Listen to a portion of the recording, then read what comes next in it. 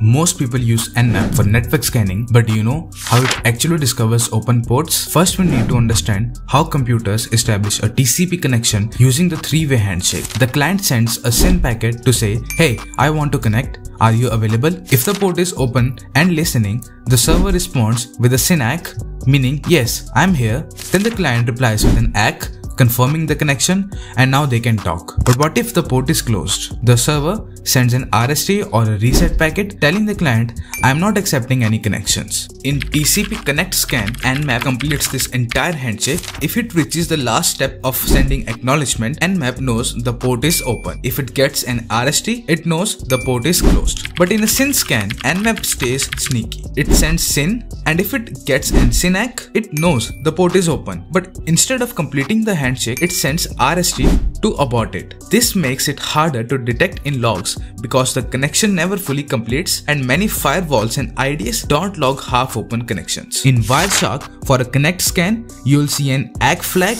but in SYN scan, you'll see an RST flag instead. Now that you know the difference, which scan would you use? Let me know in the comments.